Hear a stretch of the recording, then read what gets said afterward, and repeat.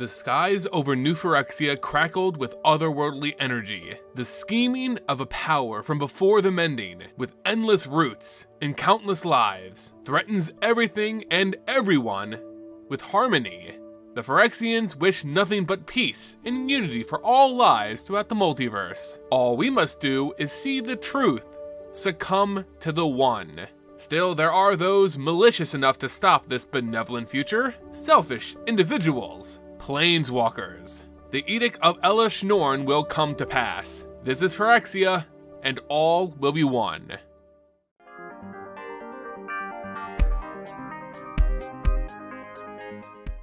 Hey everyone, and welcome back to the Aether Hub. I'm Simon bringing you more Magic the Gathering lore. Today we celebrate Phyrexia All Will Be One with the complete story that takes place in this set. From the cards depicting the gut-wrenching fates of some of our favorite heroic planeswalkers, to the machinations realized by the most terrifying villains in MTG, this is everything that happens in Phyrexia All Will Be One's lore. This is a recap of all my videos relating to this set's story, combined in a single video so that you can get all the lore in one place. Before we begin, I just want to give credit to the authors who wrote the stories for Wizards of the Coast. The material is produced across several side and main stories of Phyrexia All Will Be One, as well as the Brothers War. So shoutouts to Seanan McGuire, Reinhardt Suarez, Langley Hyde, and Laura Gray. If you enjoy our videos here at the Aether Hub, be sure to click that like button, become a subscriber, and of course, share it with your friends. Now, the complete story of Phyrexia, All Will Be One.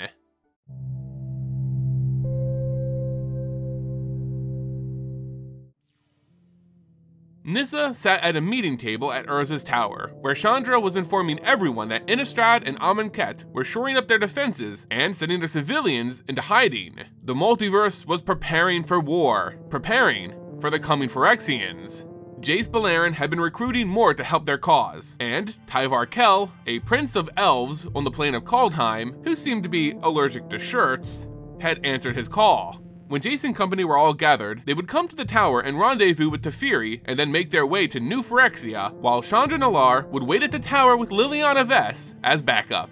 The Mirrans on New Phyrexia, those mortal souls resisting the Phyrexians, had allied with Urabrask against Elesh Norn, and would launch their offensive soon. Elesh Norn's plan was to use the seeds of Kaldheim's World Tree to bind all the planes of the multiverse to New Phyrexia. As they argued over the implications of what destroying that world tree would do to New Phyrexia, Teferi appeared in the doorway. Chandra wanted the entire plane to be wiped out with the tree, disregarding the lives of the Mirrans, who were the original inhabitants of the plane and were fighting for their home and survival. She wanted them all to suffer. But Nissa had to remind her that not everything on the plane was lost. Kaya and Saheeli went back to the workshop with Teferi, leaving Nissa and Chandra to argue amongst themselves. Teferi had been testing for a month with Saheeli and Kaya. They would plant secret phrases for him to find, gradually going back in time farther and farther, making sure nothing was changed by the presence of a spirit. Kaya was his medium. She was in his head, able to transmit information to her without returning to his physical body or current time.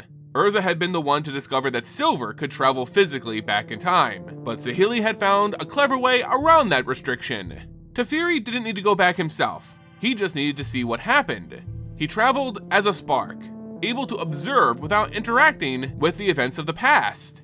Kaya asked if he is ready. After he nodded, Teferi felt the coffin, the pod in which his body sat, grow hot. He never got used to the feeling of the temporal anchor ripping his spirit and his spark from his body.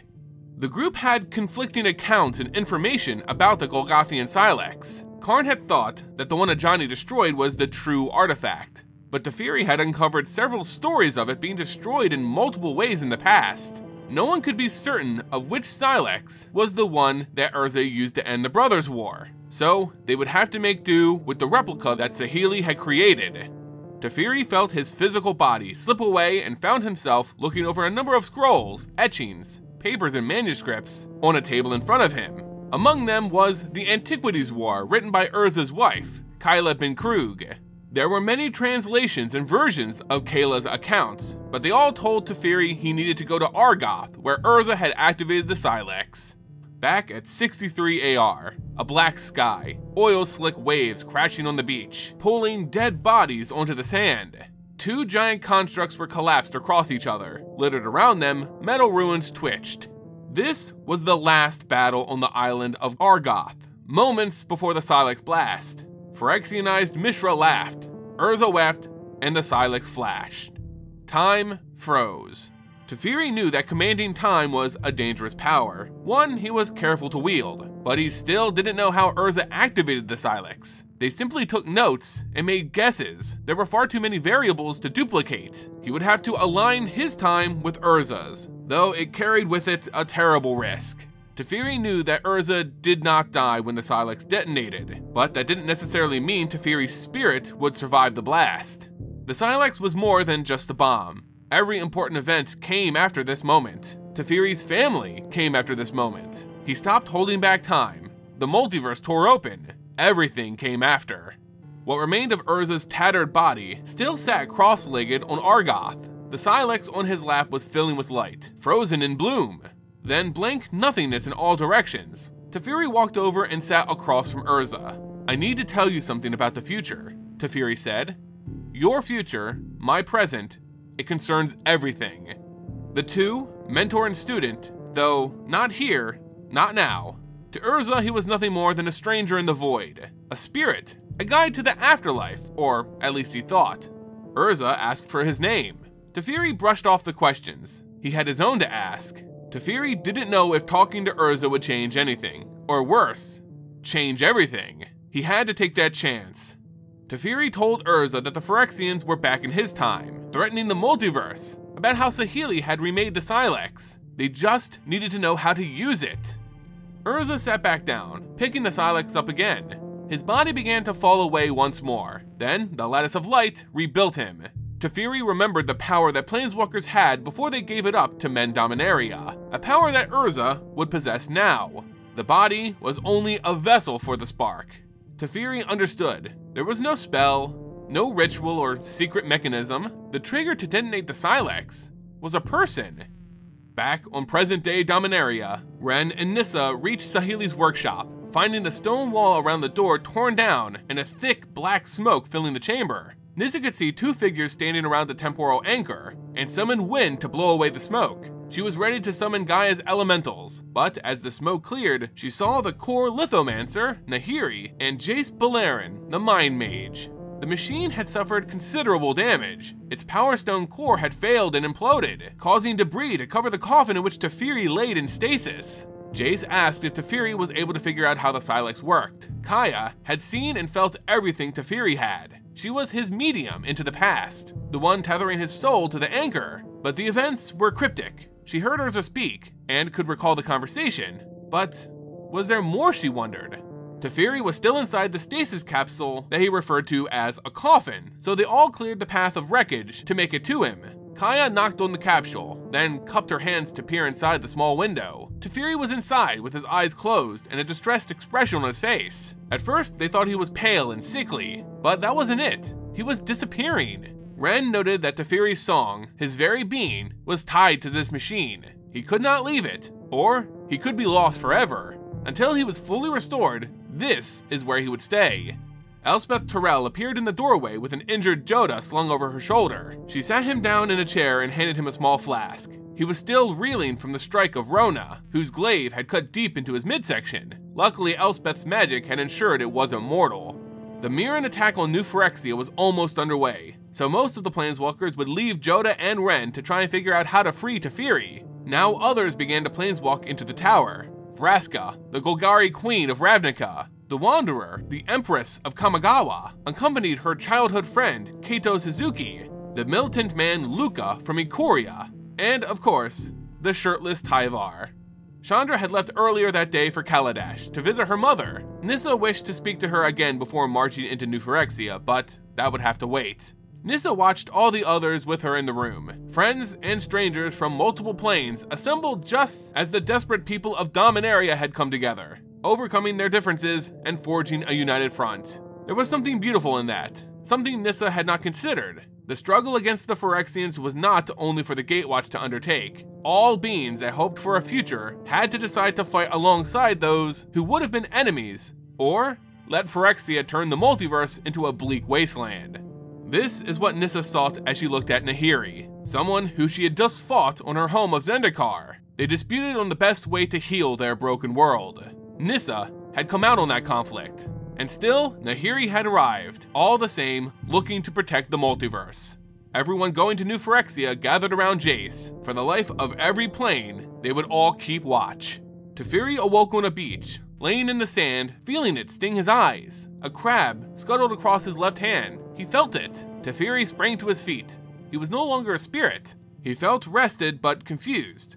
He wasn't in the temporal anchor. Teferi looked across the coast stretched out over the horizon. To his left rose a rocky cliff. To his right, the beach stretched on. He tried, but he couldn't connect to Kaya or the temporal anchor. He couldn't go home. He could only hope that they had gotten what they needed from his conversation with Urza. He struggled to remember. He had already begun to forget. This was no time to panic. This was just another obstacle. He looked across the sand and saw footprints where people had treaded. If there were people here, there was hope. Teferi stood up and started to follow the footprints inland.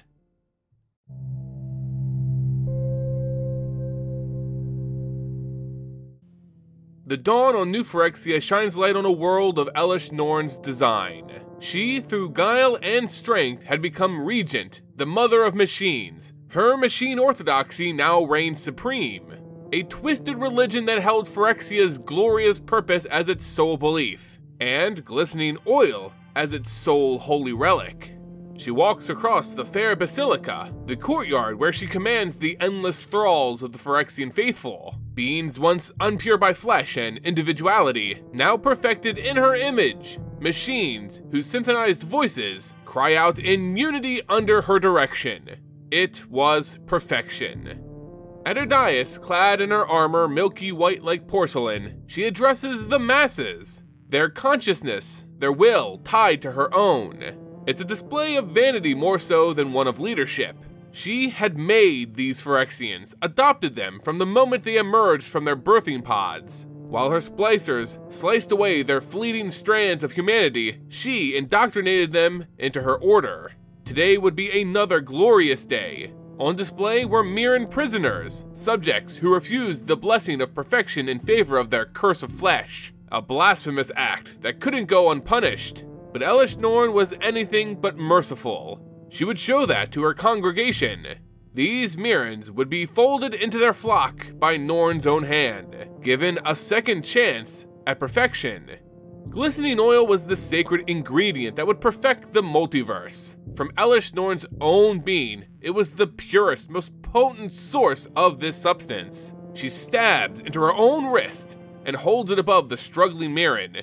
The oil bubbles forth, viscous, and covers the human from head down. She gurgles as it enters her throat. She screams as it pours through her eyes, nose, and ears, every possible entry point. Soon those very mortal screams would be replaced by the harmony of scraping metal.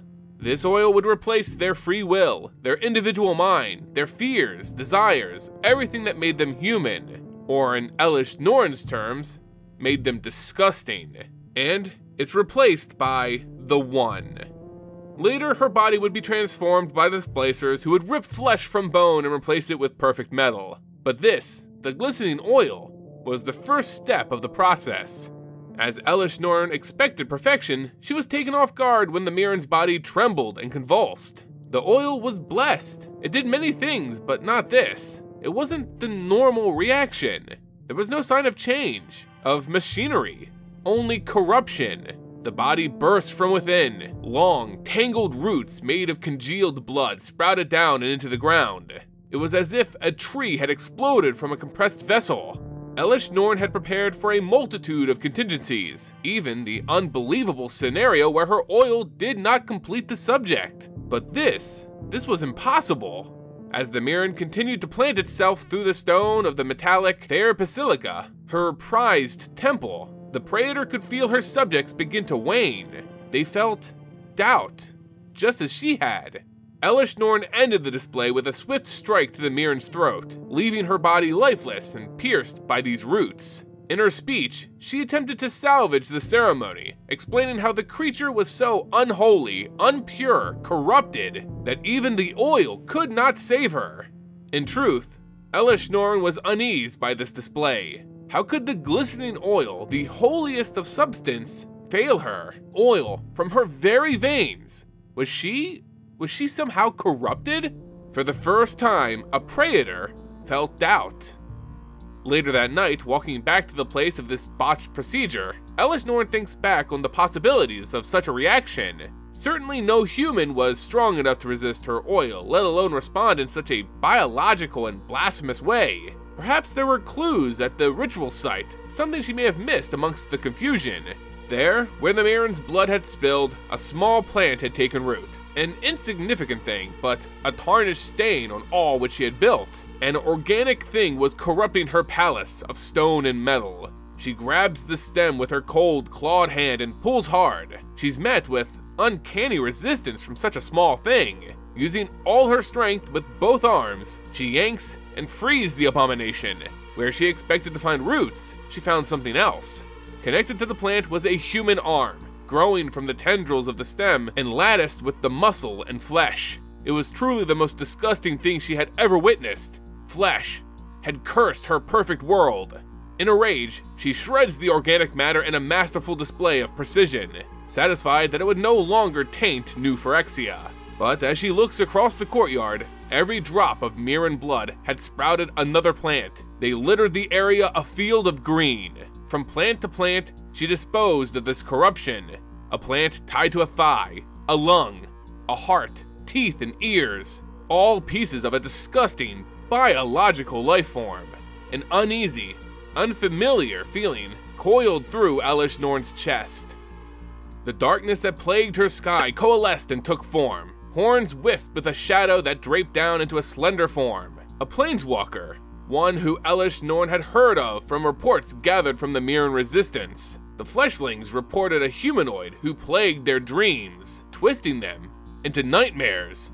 A mage, no doubt, but one who at the time seemed to only threaten the Mirrans. Elesh Norn was also familiar with planeswalkers, having faced several in a failed assault on their citadel some time ago. And again, it appeared a planeswalker had come to challenge her supremacy.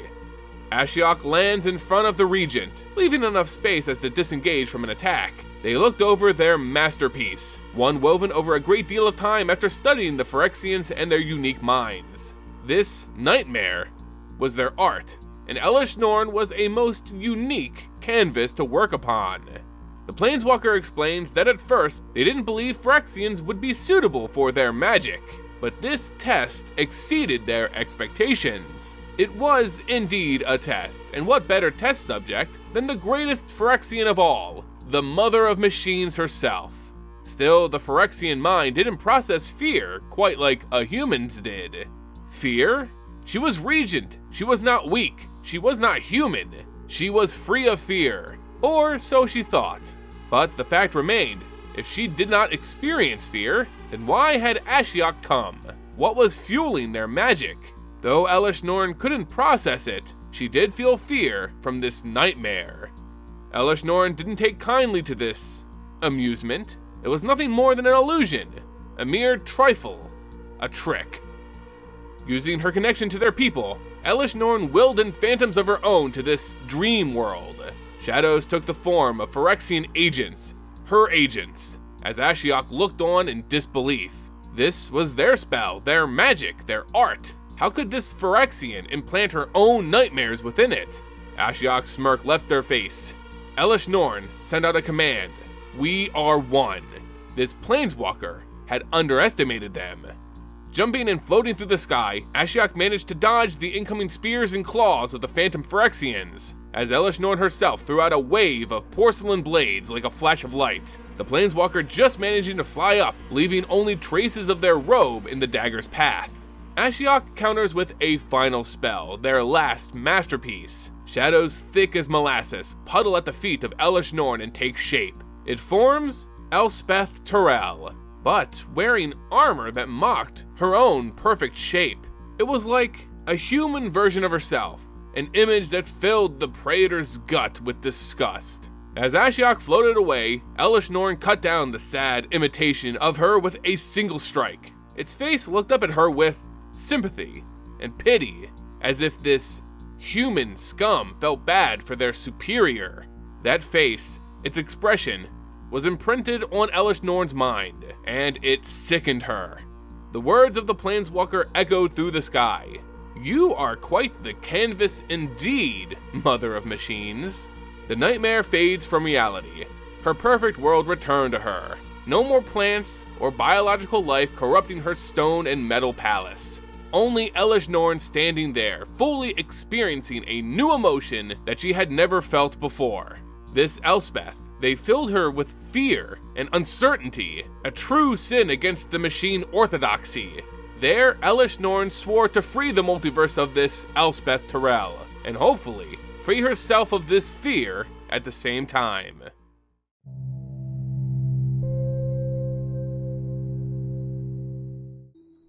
No one still living had ever witnessed a plane fully completed. Kaito Suzuki, a human ninja planeswalker from Kamigawa, did not expect to arrive on New Phyrexia and find pristine beaches. There was no sign that anything more dangerous than sunbathing had happened here, but he had to remember New Phyrexia would soon notice his presence, and quickly, they would turn paradise to peril.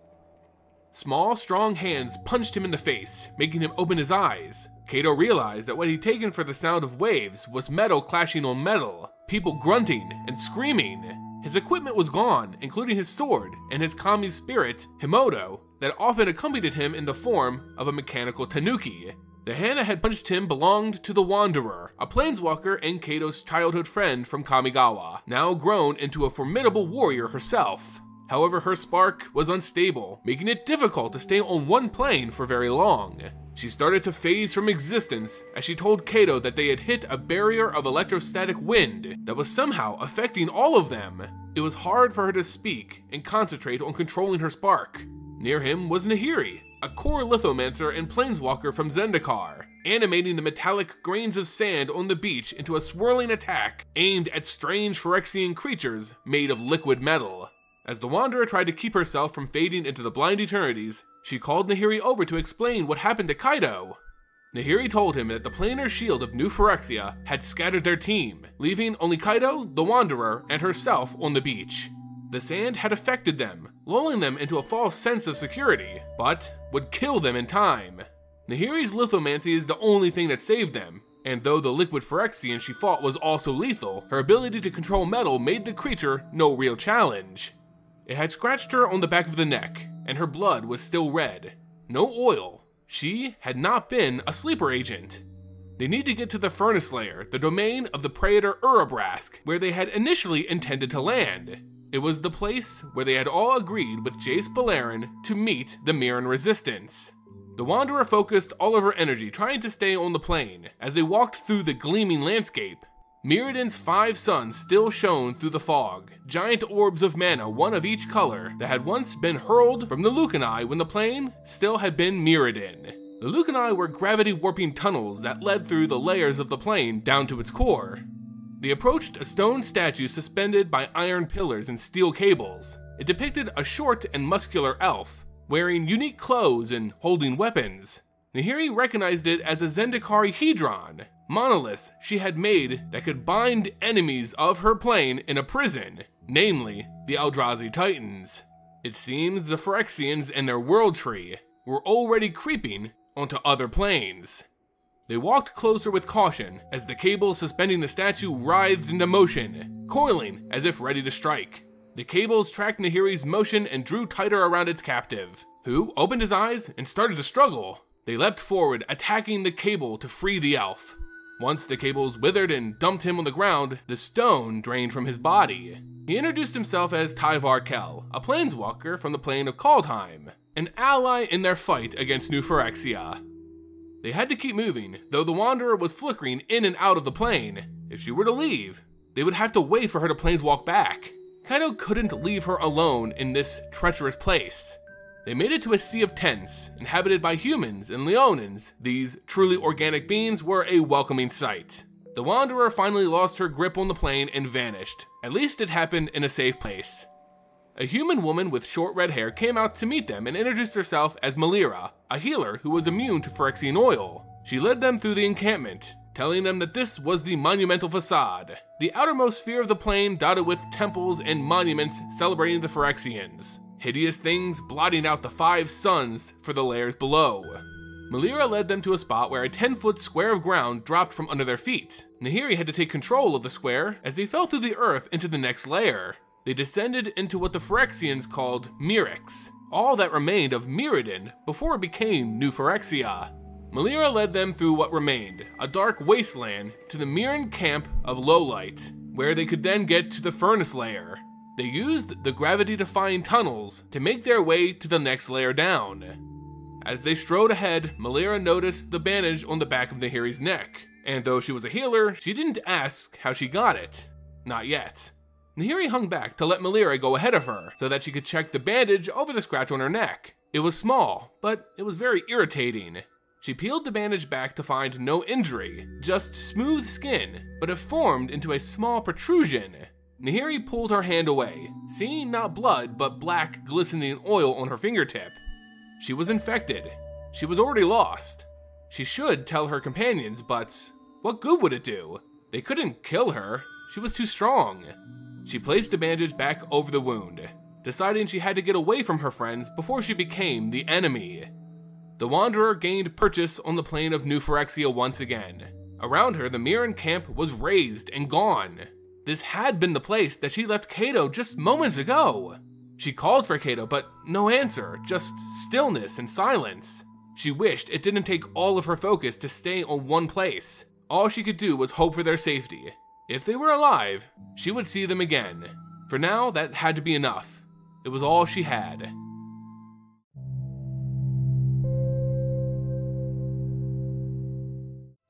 As Lukka looked around his surroundings, after having been blown off course as he planeswalked to New Phyrexia, he's surprised to find just how full of life this so-called corrupted plane was. When the planeswalker Jace Beleren first approached Lukka, he was defensive, believing the Mind Mage had come because of his actions on Ikoria or at the School of Strixhaven.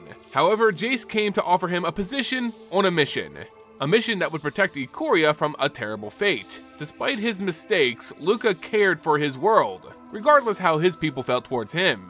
Jace believed his military experience would prove useful in this infiltration mission, and here he found himself, separated from his troops. Judging from his surroundings, Lukka believed he landed in the Hunter Maze, a sphere loosely described by Jace before they traveled. His first order of business was to reconnect with his team. This wasn't going to be a successful solo mission. Lukka thinks to himself, if he can find a creature of this world, he could perhaps dominate it, use its knowledge of this place to find a way out. He climbed up a mechanical tree for a better vantage. As he reaches the top, he hears cries of battle and beasts, winged Phyrexians swooping down on prey desperately fighting for survival. The prey? A willowy elf and a pale woman whose swordplay flowed like water. He had met them before. This was Nissa and the one known as the Wanderer, allies. They were holding their own, the Wanderer's graceful strikes removing limbs with ease, as Nissa sprouted shining metallic leaves from the surrounding foliage, using their razor edges in a swirling gale of death to the Phyrexians gathered around them. Still, they were in danger from a foe unseen. Lukka unsheaths his harpoon. He sees a hulking Phyrexian centaur skulking the trees, watching the battle, waiting for the opportune moment to strike from the canopy. The Wanderer below flickered from existence, Odd timing to planeswalk, Lukka thought, as he turns his attention to the beast, another creature for him to dominate. His magic reached out to the Phyrexian's mind, grabbing onto the little remaining biological parts left within its skull. It was enough for Lukka to find purchase and squeeze the Phyrexian's will until it was broken. Lukka had dominated a Phyrexian, bonded with it.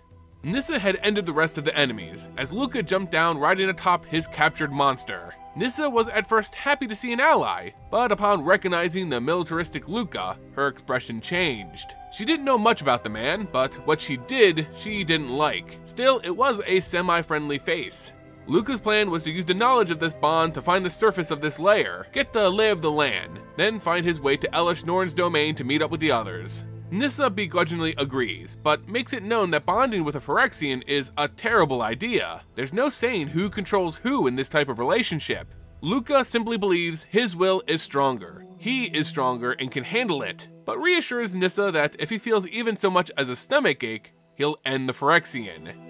The Hunter Maze lived up to its name. Its winding tree lines made it nearly impossible to get your bearings. Lukka had once been a tactical star on Ikoria, leading the Coppercoats against monsters twice as imposing as his new Phyrexian partner. But here he felt lost. The years of feeling like an outcast, a failure, he felt so much stronger than others perceived him to be. But not now. He hadn't always been as tall, as strong as he was now. Once, before he'd hit his growth in adolescence, a group of older boys had cornered him. Already he'd known he was different, though he hadn't understood how. On some level, the other boys had sensed it too. An invisible barrier that prevented him from being one of them. They cornered him, 5 to 1. He decided to retreat, but they tripped him. He had to choose while curled up against the blows raining down, his head or his ribs. He'd wrapped his arms over his skull, and he endured. He'd show them later, of course, they'd regret it.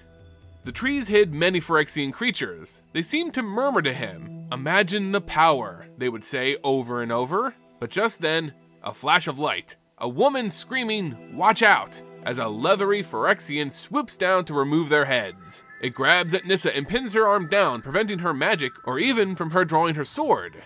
As they fell over, Lukka's mind melds with the Phyrexian partner, asking for it to secure him, which it does in a very invasive way.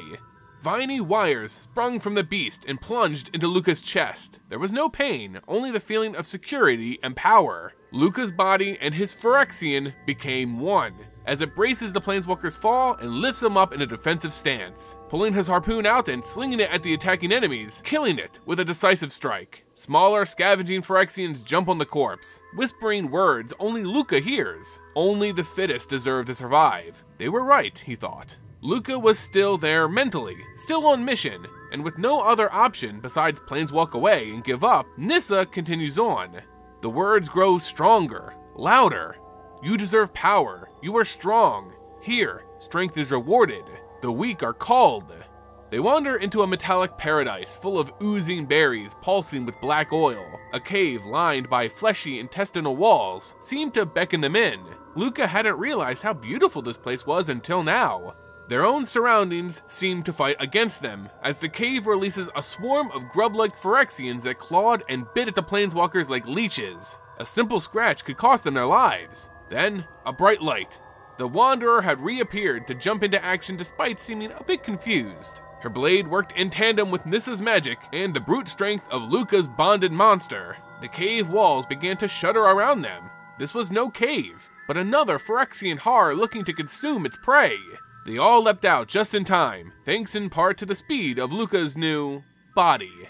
While the three planeswalkers made it out, Lukka's bonded centaur Phyrexian was caught in the maw. Its pain became Lukka's pain. How wrong he was thinking initially it was a mindless, mechanical, and emotionless creature. With superhuman strength and speed, Lukka leapt to free his companion.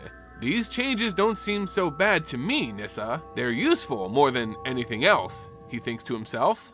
His fingers become sharp, cutting like steel, as his monster frees itself and rejoins its master.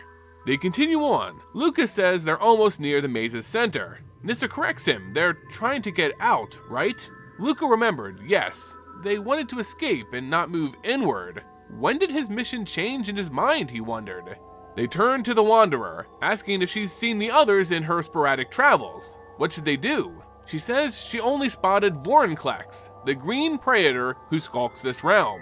She knows where he is. Nissa and Lukka both agree that attacking Vorinclex is off mission. They need to regroup with the others. But the Wanderer convinces them that this is a unique opportunity to remove a powerful ally of Elesh Norn's from the board. They shouldn't squander it. Nissa and Lukka find their own reasons to agree, and so the mission changes. Now they turn to kill Vorinclex, who sits at the maze's center. As Lukka's companion leads them inwards, they hear the sounds of a fight. They look out to see the giant beast Vorinclex fighting one-on-one against a compleated elf. Nissa recognizes the figure from Jace's briefings. It was Glissa, a powerful Phyrexian commander who was first compleated by Vorinclex. The Praetor met the elf's attack blow for blow, pairing with his stiffened appendages and countering as Glissa stumbled back. Lukka saw this as a dance, a struggle for power. It made sense to him now. The Wanderer again wanders, leaving just Nissa and Lukka. The three may have been able to take Glissa and Vorinclex, but now it seemed hopeless. They should abandon this mission and continue to the others. Nissa may feel this way, but Lukka is surging with strength, along with the desire to prove that strength. They can take them. Besides, has she already forgotten his Phyrexian abomination? It was still technically 3 on 2. Lukka threw himself at Glissa while Nissa took on Vorinclex. Glissa spun, with a hiss and threw up her clawed hands in defense. Lukka didn't need a weapon to attack her. He too had his own claws. He exchanged blows with Glissa, and she grinned. They were perfectly matched. He hadn't felt like this in years, not since his last great sparring match with the Coppercoats. Glissa seemed to feel the same, and he could hear himself laughing, laughing with pure happiness.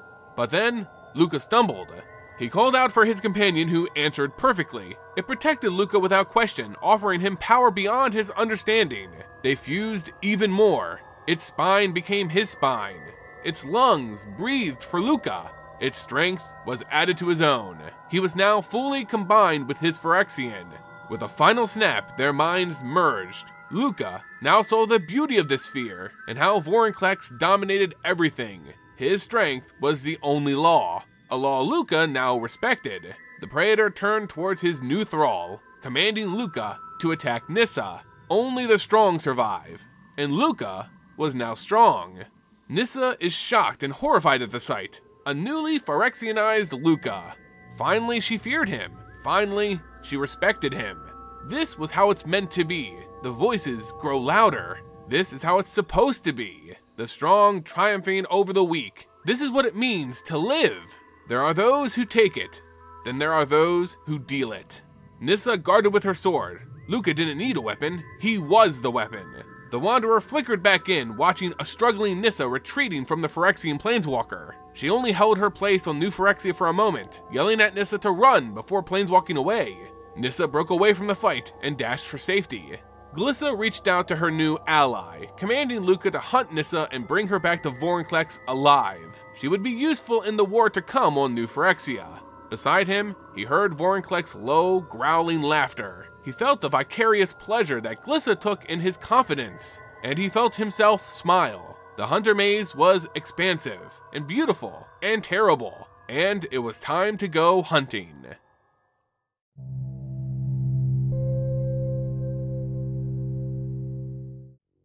Elspeth Tirel, like the other planeswalkers of the strike team, encountered rough travels while planeswalking to New Phyrexia. The impact of this magical barrier left her battered and unconscious on the surface of this corrupted world. When she awakes, a feeling of dread overtakes her. She knew fear would be an obstacle, but being here again was almost too much for her.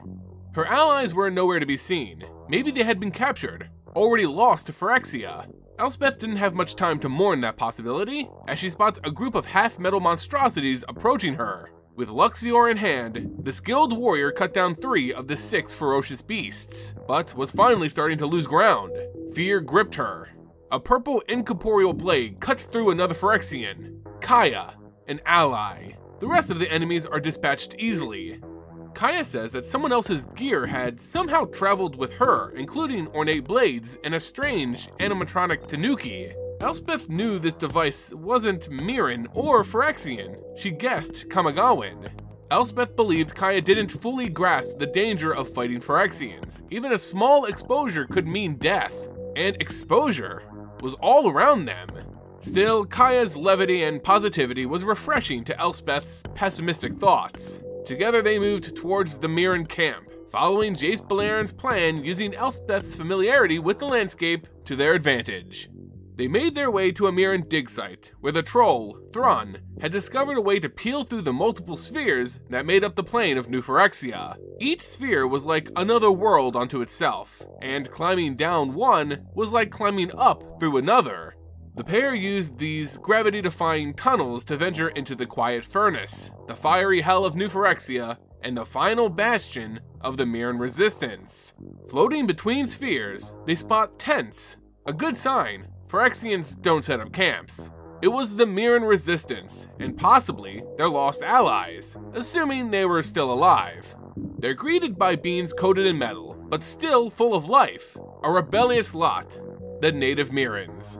A deep voice calls out to Elspeth. To her gleeful surprise, it's Koth, her former ally and a dear friend. Together they had once fought for a free Mirrodin, only to fail. She presumed he had died in their failure, but was happy to find him just as resilient as ever. As they embraced with their reunion, Kaya too spotted a familiar face, or rather, a familiar bare chest. It was Tyvar Kell. They quickly regrouped to discuss the status of their plan, whom among them were still fighting. Jace then appeared behind them. He had made it to the camp alone, having been separated when they originally planeswalked. The Mind Mage explained that the barrier they passed had severed their mind link, making communication across the plane impossible. He also explained that Vraska and Lukka weren't with them when they woke up. The Wanderer seemed to have planeswalked away because of her unstable spark, while Jace says that Nissa too planeswalked away, but it seemed forced. Nahiri and Kaito were in the camp with them and appeared to join the others. Kaya reunited Kaito with his gear, including the Kami-filled mech, who chittered, as if he had returned home scurrying up to Kaito's shoulders. Jace takes charge, putting the group back on track. They had no time to daddle. Regardless of their numbers, they needed to attack now. The plan hadn't changed. Make it to the seed core sphere of New Phyrexia, find their corrupted world tree called Realmbreaker, set off the Sylex at its roots, and end the Phyrexian threat to the multiverse. They had all the pieces in place. Victory was still possible. But what exactly would that victory cost? The Mirran human, Melira, Koth's dear friend and a being who can heal those infected with glistening oil, steps forward to hear more of their plan.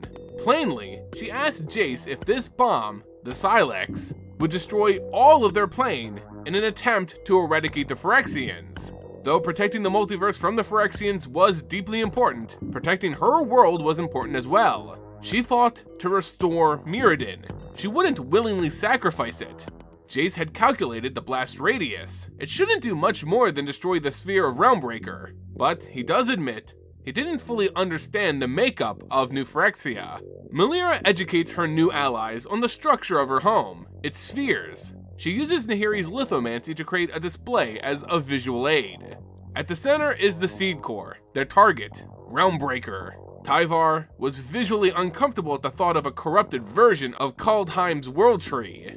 Above that are the Mycosynth Gardens, the original fungus fields used to spread the Phyrexian corruption across Mirrodin. Above that, the Fair Basilica, the throne of Elesh Norn. This is where Urabrask and his rebellious Phyrexians would attack to provide a distraction. Above that is the Dross Pits, the domain of Sheoldred. Next up is the Surgical Bay, the laboratories of Jin-Gitaxias. And further up, the Hunter Maze, the realm of Vorinclex. Next was the Quiet Furnace, the molten hell they currently resided. And still, there was another sphere above them, formerly called Mirrex, the last remnants of old Mirrodin, which was now slowly being taken over by the Phyrexians. With this lesson, Jace recalculates, not knowing how hollow these spheres were, or how much the Phyrexians had altered them, the Sylex could very well tear the entire plane apart. Melira thanks Jace for his honesty. While she doesn't relish the thought of losing Mirrodin and all her loved ones, in truth, they had been fighting over ashes and graves for years. This was their final chance, a slim hope of a Mirrodin victory. They would press forward. Melira and Koth introduced the group to a new weapon they've been using in this war, a metal they call Hexgold. It was created from the old Glimmer Void of Old Mirrodin, treating the plates with Blinkmoth Serum. It was very rare, but proved powerful against the Phyrexians. Blades made of hex gold seemed to cut easily through those infected, while its dust also seemed to slow or even prevent the spread of glistening oil, although this still was majorly just a theory. Tyvar used his unique magic to incorporate the hex gold into his own armor and weapons, while Kaito had some of the hex gold dust added to his Tanuki drone friend. Koth and Elspeth ventured together just outside the camp for a more private discussion. They expressed how they felt after their failed fight on Mirrodin years ago. Elspeth believed Koth had died, while Koth was always relieved that he was at least able to save her life. Koth tells Elspeth that he looks forward to fighting with her again, and maybe this time, dying alongside her as well. Elspeth is surprised Koth is joining them, but of course welcomes it, as she now feels their chances with him are much better. The friends embrace. Nahiri was also preparing to depart with the others, readying herself for what would surely be a challenging fight. She checks the wound she suffered when she first arrived. A blunt spike had grown under the bandage. She was infected, there was no doubt. But should she tell the others? They indeed needed her help. They were already down too many. What would they do? Kill her?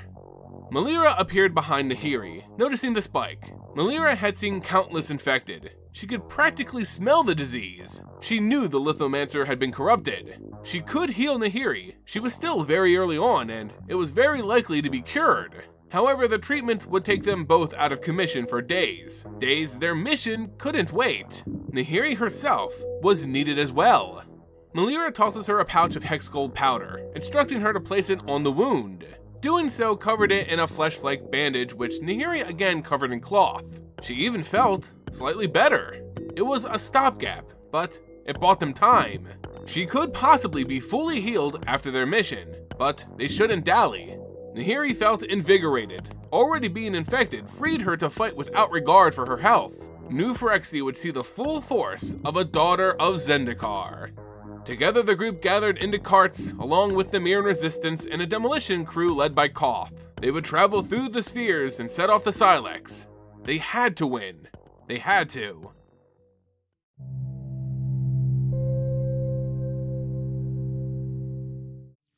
Other carts were ahead of Elspeth's, gathering gear and disembarking.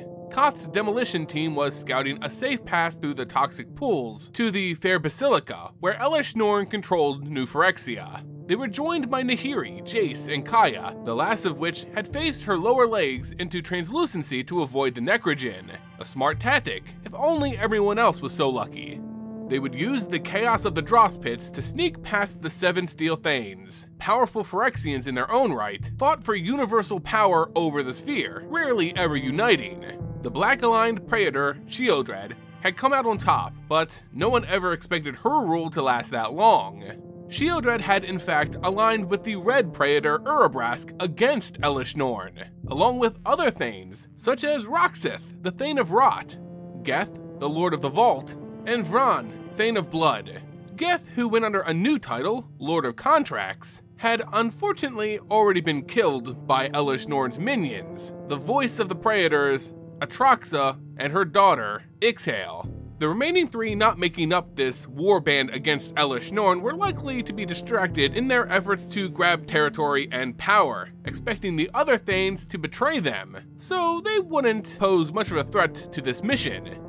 Kaito arrived in a cart with Tyvar, one wishing to sneak through the sphere overlooked, and the other unable to fathom the desire to ever be overlooked.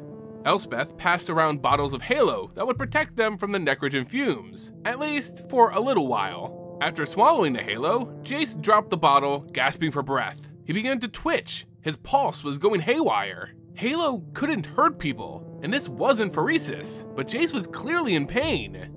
Jace leapt from his cart, attempting to take off across the deadly landscape. Tyvar caught him by the arm as he began to murmur. The halo actually cleared his head, and now he heard Vraska calling for help. Vraska, the Gorgon planeswalker assassin and the guildmaster of the Golgari swarm on the plane of Ravnica. She was everything to Jace. He wanted to go to her, he needed to go to her, and promised, telepathically, that they would meet up with the rest of the resistance later. It was rash. Jace had the Sylex, and as he ran off, the rest of the Planeswalkers abandoned their plans and ran after him. They saw warring figures, blackened metal shells of the Dross Pit inhabitants, fighting against Urabrask's molten minions. Luckily, the Red Aligned Praetor was firmly on their side. As they ran past undetected, Elspeth realized that Jace was protecting them, using a spell to make them invisible to the battling Phyrexians. Looming ahead was the decay of Sheoldred's Colosseum, where Phyrexians, or those deemed unworthy of perfection, were forced to fight. It was a monument to their tyranny. As they ran through the Colosseum gates, Kaito suggested to Elspeth that they should take the Sylex and leave Jace to his rescue mission. Elspeth, however, wouldn't do it. What was the point of fighting if they couldn't even make an effort to save one of their own? Inside the Colosseum was a vast black floor with a giant bubbling dross pit in the middle, surrounded by rows of chairs so steep that spectators could easily tumble from it if they weren't careful. Standing in the middle was Vraska, afflicted with hundreds of bleeding wounds, surrounded by Phyrexians. The rest of the area was littered with dead Mirrans and petrified Phyrexian bodies. Clearly, Vraska fought hard, using her glaring vision to defeat many opponents. They all drew their weapons and shouted, For Mirrodin! Charging in to save Vraska. Jace was still veiled by his magic, but the Phyrexians turned to fight the other Planeswalkers. Tyvar rushed in to help Kaito block an attacking Phyrexian, whose sword crunched into the elf's metal-plated back. Kaito used telekinesis to peel the glistening oil left on Tyvar's skin and throw a ball of the oil at the Phyrexian's eyes, blinding it just long enough for Tyvar to land a fatal blow. Koth had fought in this coliseum before, alone, but now he was with friends. He and Elspeth attacked a crustacean-like Phyrexian, cutting off a claw and flinging it at the line of enemies that advanced. Nahiri was a true dealer of destruction, a cloud of molten, whirling knives. The Phyrexians were hardly a match for her. Jace reached Vraska, but she raised a hand to ward him off. Jace told her that Elspeth was here with Halo, a magical substance from her home world that could possibly protect them. And so was Melira, who could even outright cure Phyresis. It wasn't nearly as bad as she thought. Vraska declines. She didn't mean to call Jace to her, but they were mentally linked, and in her pain, she let her emotions make that terrible decision. Jace willed that Vraska understood that she was saved. Vraska told him she wasn't saved at all. The poison was already inside her, and she could no longer fight it off. It was too late.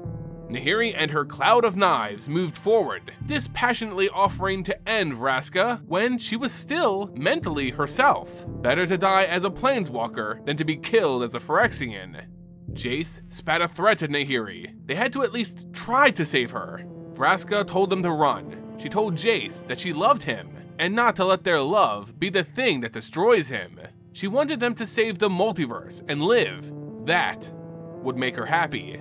Jace wouldn't leave her, but the others would. He couldn't believe they were giving up on her. He couldn't let Vraska die, at least die alone. Jace and Vraska were lost in their own world, not noticing the other planeswalkers leaving. The others ran out of the Colosseum, emerging in the middle of a war. Without Jace, there was nothing concealing them from the ranks of Phyrexians outside the Colosseum walls. They were exhausted from their fight to get to Vraska, but they couldn't press forward without clearing the field.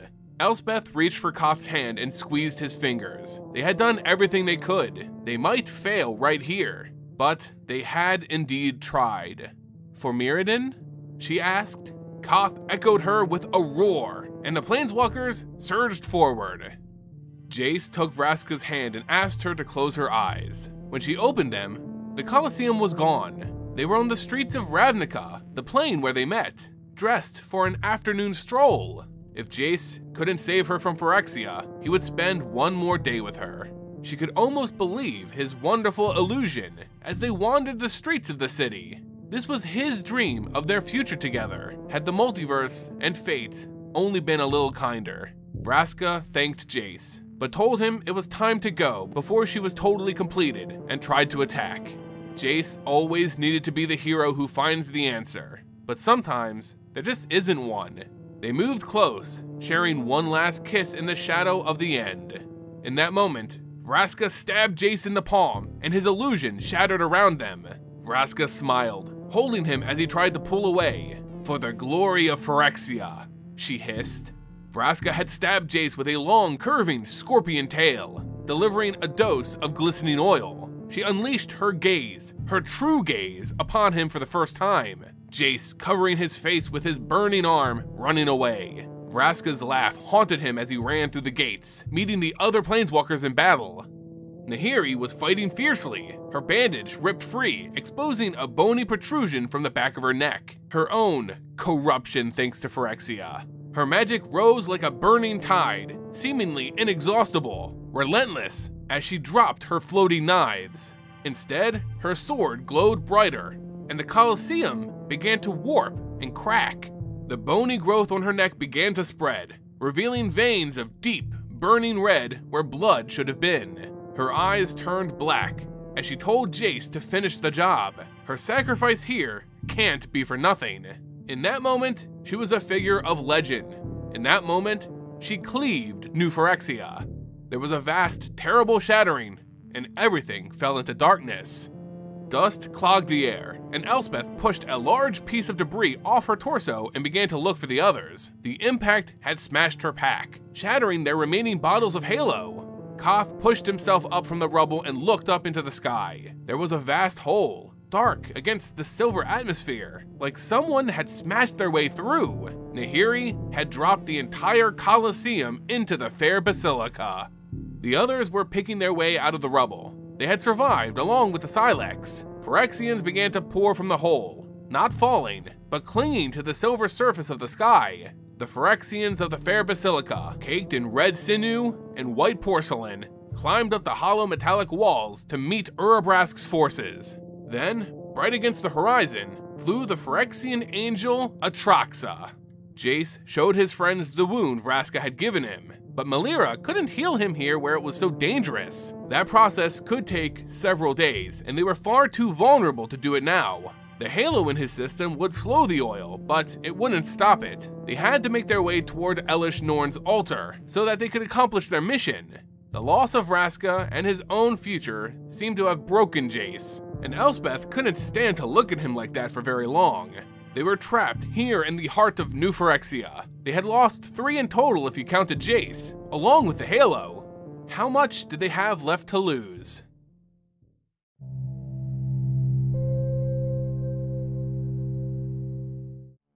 Koth told the group they had to keep moving to honor Nahiri's sacrifice. She had been infected. Elspeth thought there was no way she didn't know, but she never said anything to the group.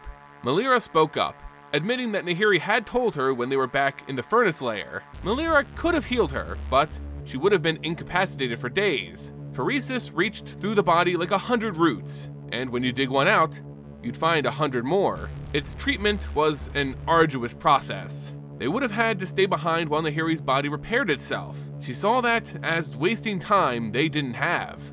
Kaya asks Melira if she can heal Jace. Jace walked along behind them, still carrying the Sylex close. But now, wire and metal shone through the wound on his arm. The flesh that remained was raw and wet, blackening as it transmuted into fibrous cables. Melira was willing to heal him, but she was unsure if Jace would let her. Using telepathy, Jace told her that he would not risk them all to save his own life, not when he had already lost Vraska. His mental voice fell silent. He had to spend all of his energy on moving forward. Tyvar, in an attempt to brighten their spirits, told them that they must honor Nahiri's story and the end she wrote for it by walking away victorious. Kaito, on the other hand, just hoped that Nahiri was actually dead. She was probably more powerful than all of them. He doubted that even two of them together could take her on. They hadn't found a body in the debris. Though Nahiri sacrificed herself for them, she might still return as an inexhaustible enemy. This wasn't a place for pretty illusions or what ifs. It would just get them hurt here in New Phyrexia. They must focus on the here and now and keep moving forward. Suddenly, Kaya drew their attention to a still colossus, red and white, to blend in with the landscape. Neither insectile, reptilian, nor humanoid. Koth informed them that Elesh Norn didn't like to give up what belonged to her. These were the warriors that served her best, ossified into monuments.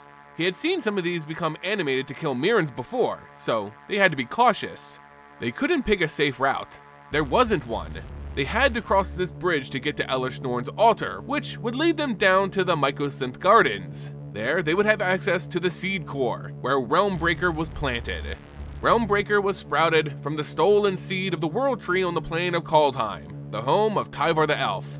He explained that the World Tree grows within the cosmos itself, linking all the realms, existing inside and outside of reality. He didn't understand how it didn't split the plane in two when it sprouted. It was both a miracle and a horror.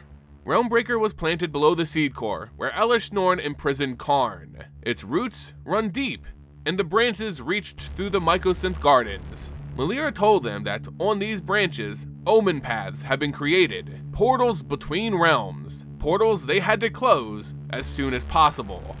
They passed under the empty gaze of the Goliath Phyrexian monument, Jace solemnly bringing up the rear. The the doors of the altar gaped open, like the terrible maw of an all-consuming beast, frozen somewhere between life and death.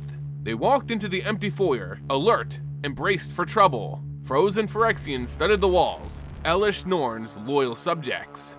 They were, in all likelihood, walking into a trap.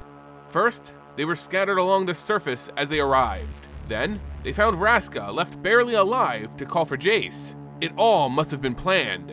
New Phyrexia had Ajani Goldmane on their side, and Elesh Norn was smart enough to use him against his friends. Still, Elesh Norn was not all-knowing, and her forces were distracted by the rebellion. The combined forces of Mirrans, as well as Urabrask's and Sheoldred's Phyrexians, were proving a suitable distraction. They pressed deeper into the building, passing more motionless bodies of Phyrexian nightmares. Elesh Norn's throne was unguarded. Beneath it was a chamber with winding stairs leading down to the Mycosynth Gardens. Once they reached the end of the stairs, they saw the white of the fair basilica give way to a steely bluish-gray pebble texture. Melira warned them not to touch it. It was the Mycosynth that took Mirrodin in the first place, sending their infectious spores throughout the plane. Behind them, Jace groaned, his stomach splitting as writhing metallic cords fought for dominion over the tissue of his body. They needed to go deeper to the seed core. Melira led them through the metal-laced landscape, avoiding the mycosynth. They approached the gateway, which was just a pile of twisted fungal strands. Melira tells them that it infects anything it touches. It was a good thing that she was immune to phyresis, but the others couldn't boast such fortunes. As she moved close, the pile pulsed before opening into a hole of darkness ringed with waving tendrils. The tendrils reached out to caress Melira, leaving some glistening oil that she was able to just wipe away. The rest of them didn't have her resistance. There had to be another way in. Tyvar remembered how Kaito peeled the glistening oil off his skin before it made its way inside of his body while they were fighting in the Colosseum. If he could do that again, Tyvar might be able to spread his transmutation magic across all of the group once they got into the Seed Core. This would give them all the same hex gold armor that hugged his skin. It offered at least some resistance. He wouldn't be able to hold the spell for long, and the glistening oil resisted Kaito's telekinesis, but they had to try. None of them would be able to use their magic while Tyvar's own was affecting them, so they had to use the remaining halo to stave off the oil until Kaito could use his magic again. Tyvar transmuted his skin into Glimmervoid metal, then it spread, covering the rest of them.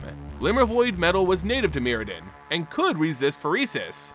The group walked past the tendrils, which left streaks of oil behind on their hardened skin. They filed through a narrow hall and onto an open bridge, taking in the horrific landscape, more disturbing than other visions of New Phyrexia because it was alive and growing.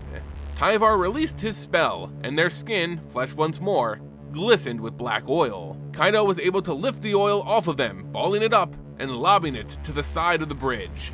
They turned to behold the Phyrexian World Tree, Realmbreaker. Elesh Norn had cultivated, nurtured, and corrupted it. Its bark was the same white porcelain metal of the fair basilica, vivid red showing through the fissures that had opened up on its surface. It bled glistening oil instead of sap. The branches reached up towards the blind eternities. On the branches hung invasion ships, almost ready to infect the multiverse. In the highest branches of the tree, light poured out, spreading into a hauntingly symmetrical lattice. They ran across the narrow bridge that connected the gardens to the core, making for a dark opening in the tangled roots of the tree. They were almost there when the sky flashed. Explosions filled the air with rainbow distortions. And then, the bright impossibility of the blind eternities. They were too late. It was all for nothing.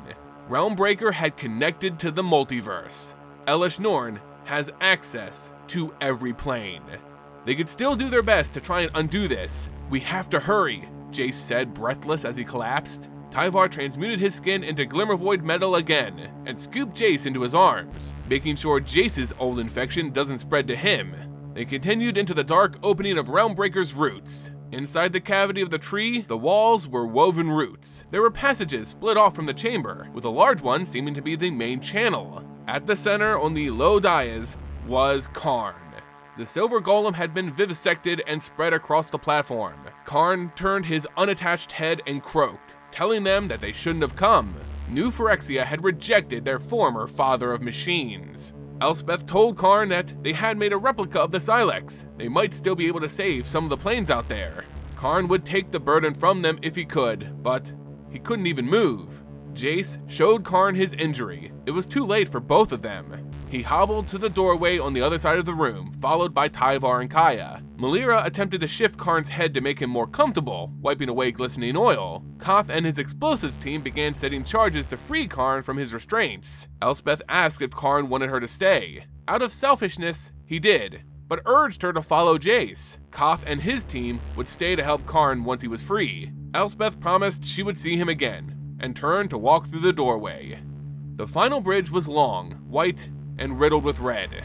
On the other side, there was a replica of Norn's altar, but made from twisted roots of the Realmbreaker. Jace was back on his own feet, listening to the chorus of voices that hummed through the air. Phyrexians could harmonize, he just realized. Intrigued him.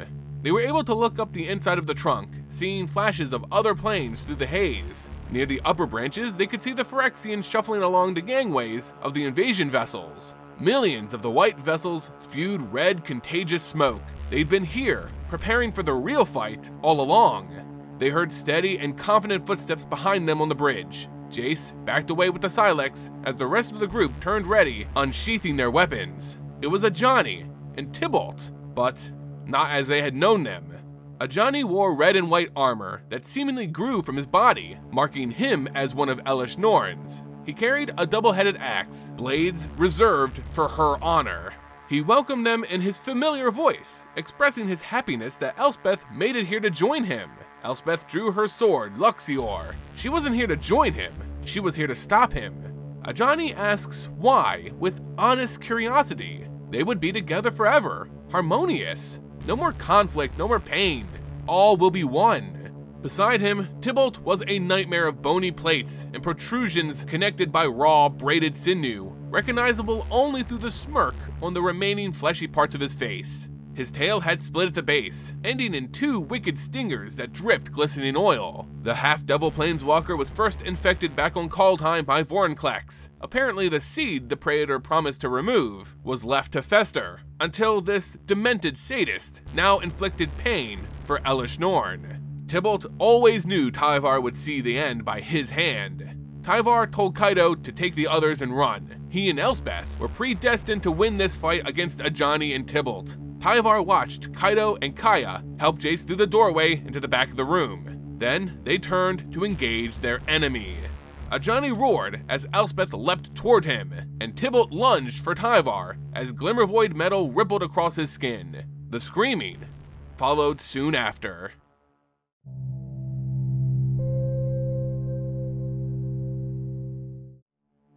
Kaya thought it a bad sign that Jace let them see how far gone he was, rather than casting a soothing illusion over himself. Himoto, a spirit appearing as a Tanuki drone, was cooing at Kaito's side, rubbing his cheek and trying to soothe him. Kaya thought about cracking a joke about needing a teddy bear, but honestly, she wished she had brought a friend with her as well. Though he was a stranger to her, Kaito shared in his hatred of this place. On his home plane of Kamigawa existed Boseiju, the great tree that lived in harmony with everything around it. It was filled with spirits called kami, but in this place, the spirits must have been consumed along with everything else, or they would be screaming without end. The kami were not like the spirits Kaya was used to dealing with. The kami were born immortal. Kaya was used to spirits that were born from death, but with as much death as this plane had seen, there were no spirits. There was nothing. Phyrexia didn't release its victims, not even in death. The halls around them were empty, which felt less like luck and more like a trap.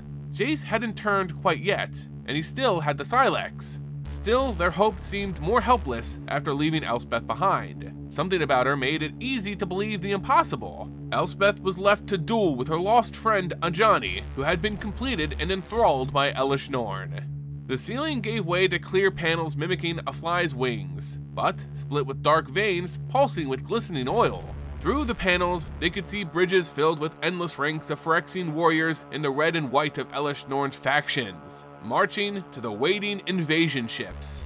Kaito spotted a hole in the floor that looked like it was meant to be an entrance to a stairway, except whoever had made it forgot to build the actual stairs. Roughly a 10 foot drop led to a hovering disc of white metal with no walls surrounding it. There was another hole in the disc below, exposing Realmbreaker's trunk until it vanished into mist. This was as close to the core root of the tree as they were going to come. Kaya phased herself intangible and dropped onto the disc below, now smelling ozone, mycosynth, and a perversion of Kaldheim's sweet air. Jace teetered on the edge of the hole and finally jumped to be caught by Kaya, who desperately tried to avoid the writhing cords coming from his body. Jace unpacked the Sylex, revealing it to the Phyrexian air for the first time as Kaito jumped down nimbly. Kaito asked if it was safe for them to be this close. Kaya explained that Urza detonated the original Sylex in his lap and he survived. They'd be fine. Probably. Assuming the plane survived and the shockwave traveling up the tree didn't rip New Phyrexia apart from core to crust. It could still send the last of the Mirrans into oblivion, if Nahiri had survived her fall and not yet turned, she would be blotted out in an instant of the blast. So would they. Kaya felt uneasy as Jace moved into a cross-legged position with the Sylex in his lap. The invasion tree had connected. The Sylex could damage or destroy every plane in contact with Realmbreaker. They had no way of knowing which planes they were, but they would be casualties. The Sylex obliterates everything it touches. Even time was fractured when Urza set the original off. If the blast could travel through the omen paths of the tree, it could destroy everything. They could even blow up the blind eternities. Jace was dying, and he didn't blame Kaya and Kaito if they killed him before he could turn his powers against them. He had spent so much time and effort trying not to destroy the minds of others just because he could, or moving in a multiverse so simply without causing endless damage. He would become an incredible weapon for New Phyrexia. Now they were starting to speak through him, and his eyes flashed an inhuman blue, brighter than usual. Jace tries to compose himself. They weren't going to destroy anything with the Sylex. They would only be preventing greater deaths. There was no other way than to bring the ending, to renew it all. Jace was willing to sacrifice countless planes, possibly even the entire multiverse, in order to stop the Phyrexians. Kaya knew what was rattling through Jace's slipping mind. Phyrexia had to be stopped, but not at the cost of the multiverse itself. Kaya lunged forward, grabbing Jace's wrist before he could pick the Sylex up again. She pulled a dagger from her belt as Jace's eyes began to glow. Kaito was confused for a moment, and then realized that he should draw his sword also. On the bridge over the void, Ajani's axe clashed against Elspeth's sword, pushing her back even as she dug her heels into the sinewy surface and tried to stand her ground. Ajani willed her to join him, to be ideal, to be one. If he had sounded any less like himself, Elspeth might have been able to undercut his ankles and send him toppling into the depths. Instead, his voice was calm, carrying only genuine affection and concern. Ajani tried to convince her that Phyrexia was no one's enemy, that they only wanted to bring peace and perfection. Elspeth retorted that New Phyrexia was everyone's enemy. Ajani resolved to say that she didn't have to be alive to join them, finally attacking without holding back he narrowly missed Elspeth's head swinging his axe with a blast of destructive magical force. Not far from Elspeth and Ajani, Tyvar used his blades to keep the twin barbs of Tybalt's tail at bay. Tyvar's skin was still metallic and gleaming, his entire body having converted into Glimmervoid metal for the protection it could offer him against the glistening oil that dripped from Tybalt's body. Tybalt taunted Tyvar, telling him there would be no heroic sagas in his name, only tales of failure. Tybalt whipped his tails as Tyvar blocked them with his Glimmervoid arms. Tyvar hissed in pain. Tybalt hissed in pleasure. The two united for the first and perhaps only time in their acquaintance. Tyvar was resistant to Tybalt's magic, a cloud of doubt that infected all around him, because Tyvar was too confident to understand why he should doubt his convictions. Tybalt told him most were not so devoid of concerns, turning towards Elspeth as smoke leaked from his mouth. Doubt was the greatest weapon of them all. A wave of misery and doubt washed over Elspeth. This was her fault. If she had been a better student, less distracted with her own problems, strong enough to save Mirrodin from falling to Phyrexia, then Ajani wouldn't have been infected. Ajani landed a blow that knocked the weapon from her hand, and Elspeth could only back away. Tybalt cackled, stabbing at Tyvar, who was horrified to see Elspeth retreat. Seeing her lose her faith made him feel like all was lost.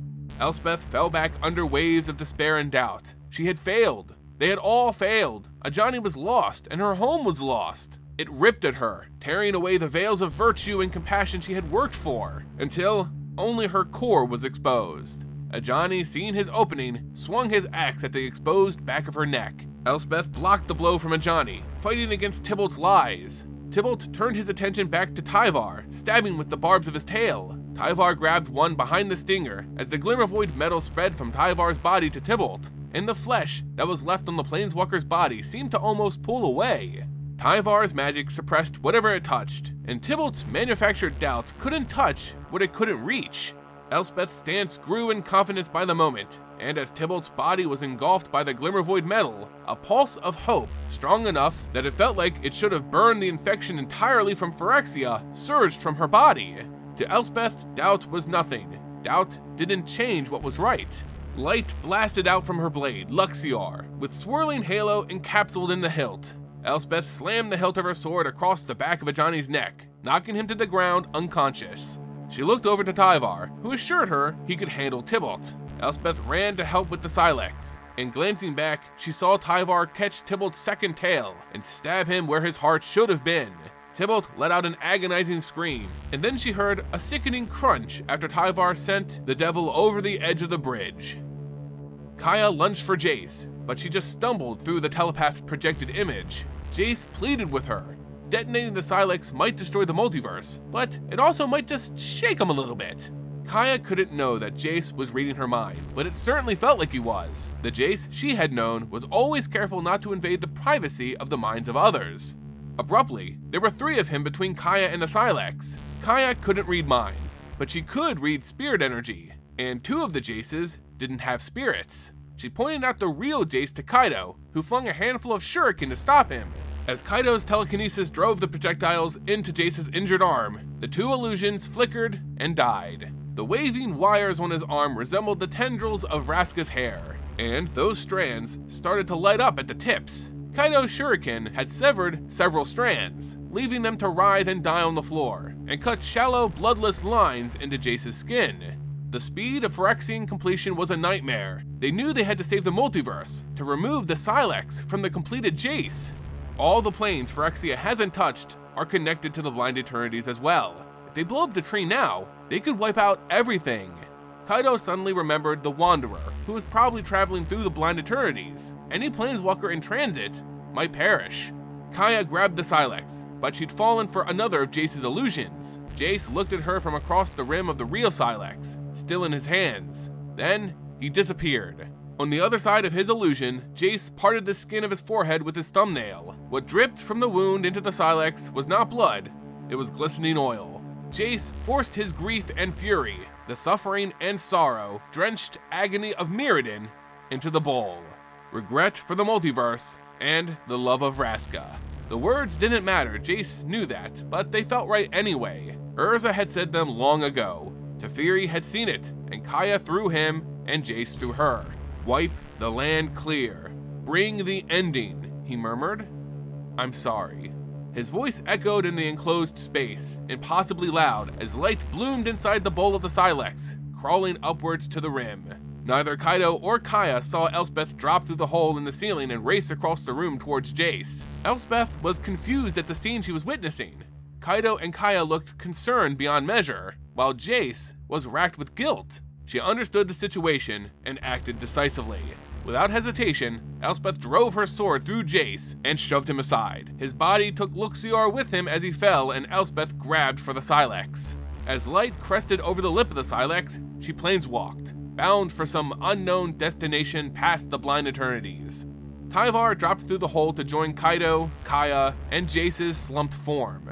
Instead of his footfall, they heard massive booms consuming all other sound. Realmbreaker's trunk pulsed with light. Each pulse lit the air with an oily, slick array of colors, yanking the world around them through a cycle of nights and days. The tree had been fully activated and was transmitting through the multiverse.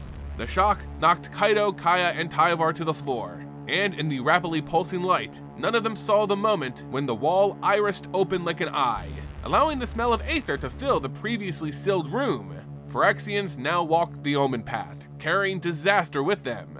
Each vessel with its heavy burden of Phyrexian invaders reached another plane, where they would spread their infection. An opening in the wall of the tree got larger. Footsteps coming from the other side, they were about to have company. A figure almost skeletally thin, made of red tissue and gleaming porcelain white metal, stepped into the room. Elesh Norn turned to them and smiled as a squadron of Phyrexian warriors slipped in after her. Kaito gasped at the sight of Tamio, the companion he had once fought alongside on Kamigawa, moving among them. Elesh Norn welcomed them to Phyrexia as Jace's body shuddered and stood, then moved to join his new master. Luxior fell from his body, and Kaito grabbed it up quickly. Elesh Norn laughed, offering them her idea of peace and harmony. Why resist? Their friends were already with her. All will be one. Her subordinates parted, letting Nahiri through. She had clearly not survived her fall. The spikes that had grown out of her neck were more pronounced now, mimicking the cloud of blades she often summoned. Her hands were gone, replaced at the elbow by metal blades. Cracks in her skin showed molten metal inside her body, and her eyes glowed with that same terrible heat. Another figure followed her on a bundle of cables, using the root-like formation of her lower body like tentacles as she settled by the other Phyrexian side. Extra appendages sprouted from the woody protrusions covering her flesh. Her face, like Tamio's, was marked with glistening oil. It was Nissa Revane, but the soft-spoken animist Kaya knew was gone. Elesh Norn explained in her own rationality that Nahiri fought them, but was able to find peace and a better way in the One. She and Nissa came from the same place, but they were never friends. Now they're sisters, united finally on the same side in every way. They are one. Kaido, Kaya, and Tyvar could all be one. Each of them declined, and Elesh Norn resigned to call them enemies. She raised her hand, clicking her perfect claws together, and the invasion began.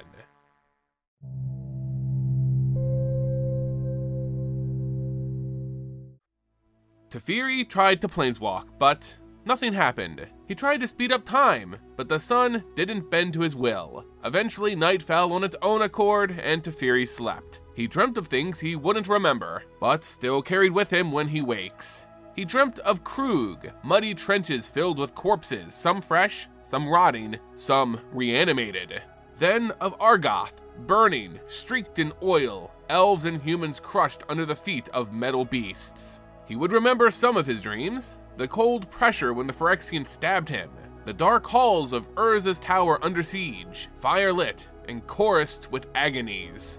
His wife, Subira, didn't wander anymore. That was now his solemn duty. Teferi awoke to see the tide had come in, though there was no moon to pull them. The landscape was illuminated in a pale blue. Teferi had started to follow footprints leading away from the beach to a path inland. He had to find people. People must eat, people must sleep, people must laugh. All things Teferi was desperate to find. Teferi followed the path through a dune forest until it became a scrubland dominated by low, wide canopied trees. The sandy path gave way to packed earth, showing tracks of carts and more footprints. Teferi bent down to use his magic to extract history from the dust. People came here once, to the beach beyond the dune forest. Parents would bring their children to spend long afternoons relaxing near the surf. Teferi cast his mental net wider, and the visions came to him like dreams. Fishing boats lined the beach. Some of the sailors lay resting while the others headed inland to sell their catch. Making a looping gesture, he brought the past closer, Fewer families came here now. Those that did stayed close and carried weapons. No sailors took their boats to sea. They were all afraid of it. Afraid of the dark. Afraid of what they couldn't see. Another rotation, and the past became closer. Fear. Waves crashing and then horrible screams. Cataclysm. The ground reached up, lurching, moving. Another rotation, and the beach was empty. Only rain washing over the waves that rose to the dunes. Another rotation, the beach returned, the water now still as glass. Another rotation. At the end of this path, Teferi's recall failed, and mist gave way to absolute darkness. It was a void, severed from time. It was Zhalfir. Nearly 400 years later, Teferi was back in his home, the one he had phased out of time and reality, Zhalfir. Teferi followed the path until it became a cobblestone road and hid in the bushes to watch a train of wagons pass. He was tired, hungry, thirsty, and lost. He needed to risk trust. Teferi emerged, greeting one of the caravanners. She screamed, and the rest cried to halt and attack. Teferi was surrounded by spear points within a minute. Teferi was a naked traveler. He lied and said he was attacked by bandits. One of the caravan guards passed him a cloak, assuring him they dealt with those bandits last night. The leader of the caravan looked at him solemnly, telling him that they hadn't found his party, that none had survived. Their bodies were in the last cart, as they were taking them to Kingal. Teferi was permitted to go along and speak for them, his fallen false colleagues.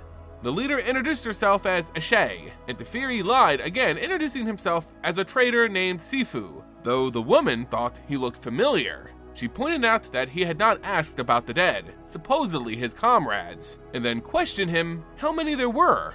Working quickly, he scried to pull the answer from her memory. Teferi found reading someone's mind wrong and invasive, but there was a need. He was able to see 10 dead, and that satisfied Eshe, who promised to take care of him. The next morning, the caravan halted, a day's travel from Kingal. Guards were urging the caravanners to line up. A woman beside Teferi explained that these were the bandits that had killed their guards and took their place, and that Eshe was their leader. Eshe hushed them as she made a slow review of the bandits' prisoners. As she reached the end of the caravan, Eshe announced that there was a snake among them. She said Zhalfir was at war, and had been at war for generations. First, the Mirage War, then the Keldon War, and now this long wait preparing for the Phyrexian War. She was referring to the first Phyrexian War to defend Dominaria against Yawgmoth. It never came, because Teferi had phased out the kingdom before that catastrophic event. They had all lost so many. Everyone there, bandit or caravaner, was linked in grief. She gestured toward Teferi, saying that there was one alone who didn't suffer, and announced him by his true name.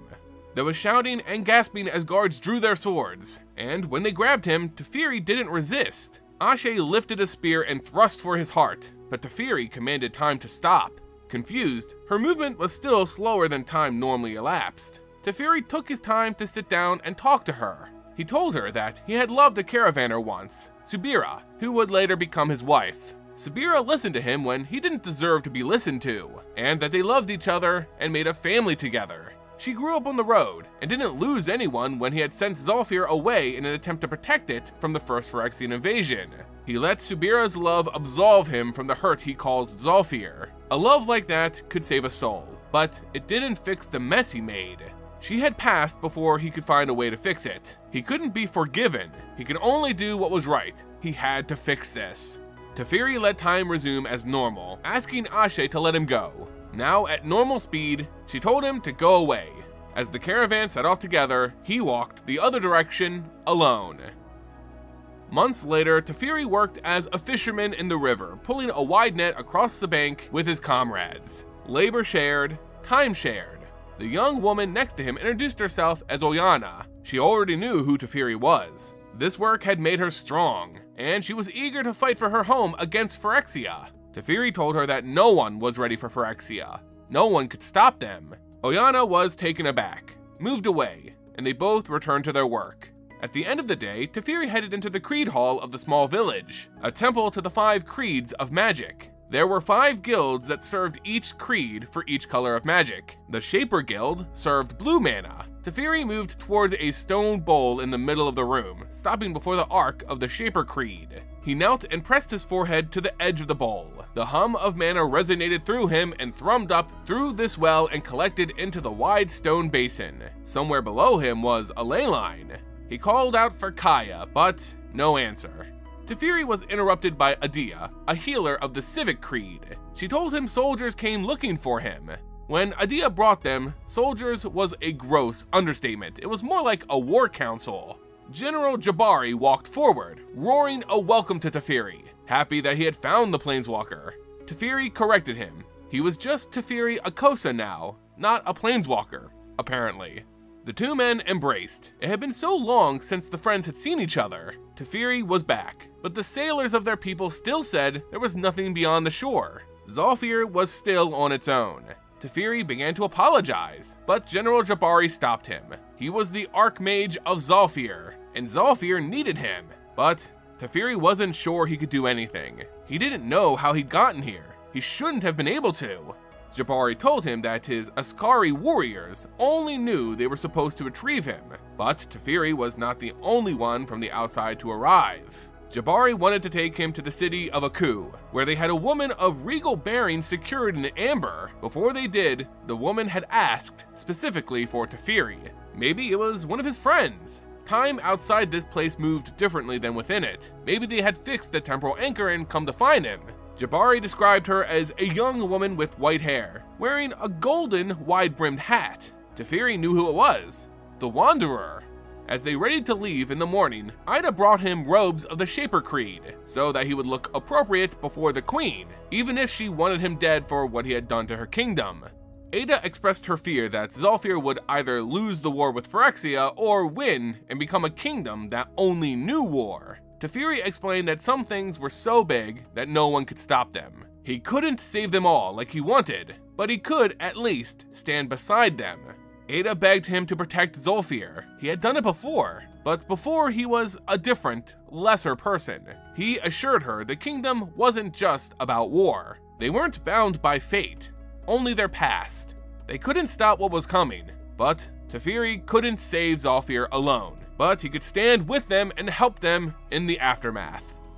Weeks later, they arrived in Aku, the city that held the tombs of the past Zhalfir royalty. The queen had come here to seek peace and spiritual guidance from her ancestors, though the amber tombs of the ancestors bristled with unsettling energy rather than peace. They walked through the corridors of Aku's main district, surrounded by patrolling Queen's Guard. They were often accompanied by someone from the Shaper Creed, or an armored cleric of the White Aligned Civil Creed. This wasn't normal. Maybe something had happened in the tombs. Teferi and Jabari reached the Amber Tombs to find the entrance crowded with soldiers and clerics, weapons drawn. Two officers, Askari of some high seniority, argued with each other in harsh whispers. Jabari asked what happened, and the Askari soldier told him that Kaervek escaped. Kaervek was a warlock who had tried to take over the kingdom of Zhalfir through manipulation, eventually caught and imprisoned for his crimes.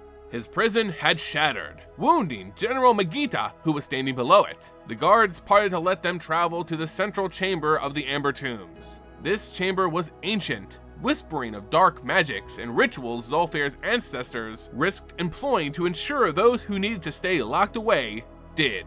The pendulum that held Kaervek had fallen on the ground and shattered, its tip still embedded into the floor. Queen Wenza stood off to the side, aged only a decade since Teferi last saw her. She declared that 360 years had passed, and that it's still Zhalfir against Phyrexia. She turned to Teferi, telling him there was no punishment great enough for the acts that he had committed. If she killed Teferi, Phyrexia would win, and that was enough to keep him alive she addressed Jabari, telling him he was to lead the army until General Magita recovered. The queen reached into her robes, revealing a small amber bauble, and tossed it across the floor. Teferi picked up the small prison and peered inside. It was the Wanderer, her face going from determination to confusion. The queen told him to put the prison back on the floor, and he obeyed. One of the Creed leaders stepped forward whispering a spell, and the prison began to glow. It burst open. The Wanderer's exhale echoed around the room. Teferi filled her in while she recovered. She had been there for over a month, but for her, Teferi had only disappeared days ago. The Wanderer's form flickered. She was losing her hold on the plane. She warned them that New Phyrexia's invasion was upon them. Nissa was gone. Others had fallen. The Wanderer rushed to tell Teferi about the battle at Urza's tower, the raid on New Phyrexia, about Realmbreaker, and their desperate plan but her voice hiccuped and stuttered. As she flickered in and out, she faded, her unstable spark pulling her away. It's not too late, Teferi said, a fierce grin spreading across his face. The Phyrexians had awoken something that their machine minds would soon learn to fear, Teferi, who would show them all that the sun rises in Zhalfir.